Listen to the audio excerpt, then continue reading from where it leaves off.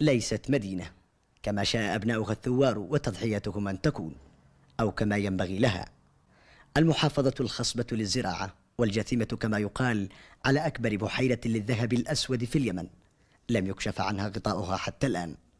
وبعد مضي أكثر من خمسين عاما على قيام الثورة لا يزال الجفاف وغياب الخدمات واتساع مساحات الفقر والجهل أبرز أوجه معاناتها اليوم. خمسين عام الجمهورية ما حصلنا شيء لا ماء لا كهرباء حتى على مستوى المياه.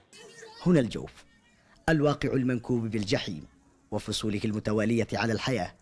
لم يلمس المواطنون الفرق بين الملكية وبين الجمهورية أو ما يدل على الثورة بعد خمسة عقود ونيف من انطلاق شرارتها في سبتمبر. غير أن التجاهل والحرمان من أبسط الخدمات كالصحة والتعليم ومشاريع التنمية هي ما تعانيه هذه المحافظة رغم تضحيات أبنائها.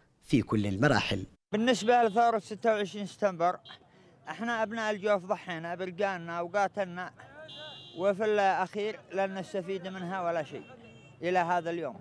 وكان التهميش هو معتمد يعني مقصود. إنك الذكرى فحسب. لثورة أهدافها لم تتحقق كما يجب ولم تجن ثمارها المرجوة كما يقول هؤلاء.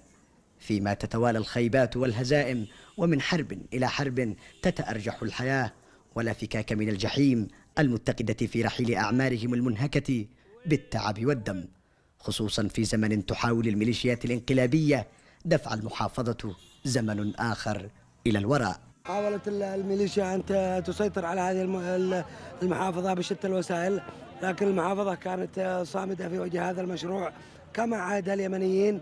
لا جديد إذن تحمله يوميات سبتمبر.